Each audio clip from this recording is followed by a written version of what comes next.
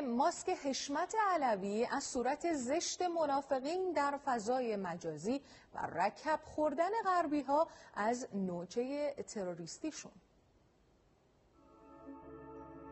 حشمت علوی دیگر در توییتر حسابی ندارد چرا که اصلا چنین شخصی وجود خارجی نداشته است. حدود 24 ساعت است که در فضای مجازی کاربرها با هر دیدگاه سیاسی از فیک بودن کاربری به نام حشمت علوی خبر می‌دهند که چندین سال در توییتر فعال بوده اما اکنون مشخص شده چون این فردی اصولا وجود ندارد. جالب این که این شخص وجود نداشته بارها بارها منبع تبلیغات ضد ایرانی در نشریات غربی به خصوص آمریکایی بوده است. بعد از این رسوایی بزرگ و رو شدن دست منافقین در سمپاشی مجازی علیه ملت ایران بسیاری از کاربران با گرایش های مختلف به این موضوع واکنش نشان دادند. توییتر account حشمت علوی رو بست.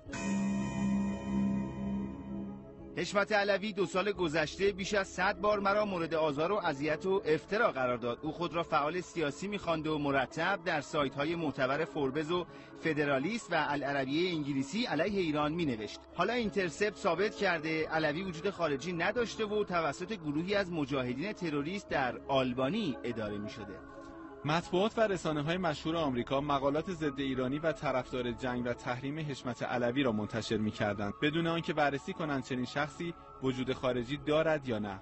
جالبه که حالا دست منافقین پیش آمریکا هم رو شده و اینا بعد اینکه آدم از کشورهای اروپای شرقی واسه گرد هماییاشون اجاره می‌کردن حالا خبرنگار و شخصیت جعلی به رسانه های عربی و غربی میندازن آدمکش های اجاره یک روز با شاخه نظامی دست به کشتار مردم بیگناه زدند و سعی در براندازی نظام جمهوری اسلامی داشتند و امروز در کمپ fake ها با اکانت های جعلی اقدام به کشته سازی و دروغ پراکنی می کنند تا این نظام رو تضعیف کنند.